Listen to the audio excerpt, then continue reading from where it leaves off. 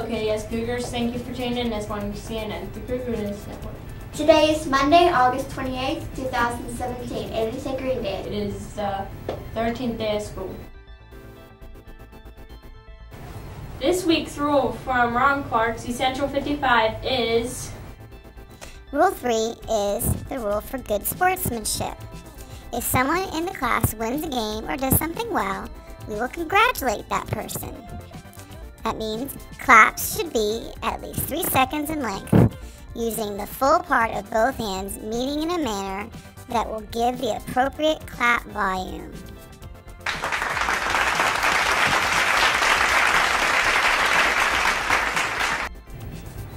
Thank you for watching.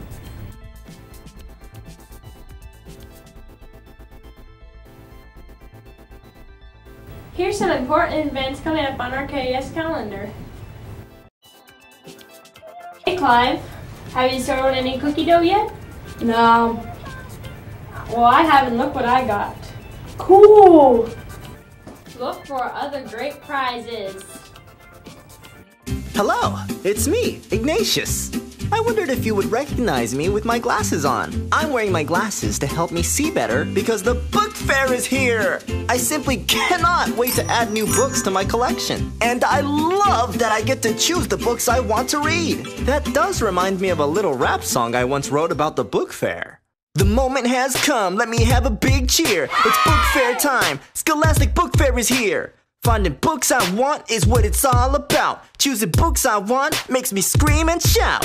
Woof, woof, woof, woof, woof. Book fair. See you there. Word.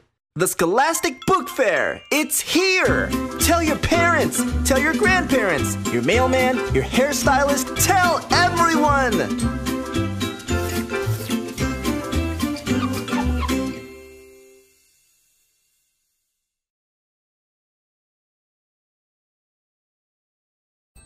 Here's what's cooking in the Cougar Cafe. We will be having white spaghetti, broccoli, and fresh fruit. Carl's chicken salad. And cold milk.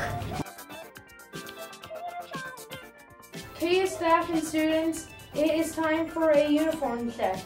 Teachers, please check to see that all students are in either a Kathleen t-shirt or a colored red, white, or navy blue t-shirt. All skirts, pants, and shorts must be khaki, black, navy blue, or blue jean. And if they have belt loops, they must have a belt in them. Please stand and remain standing as we say the Pledge of Allegiance.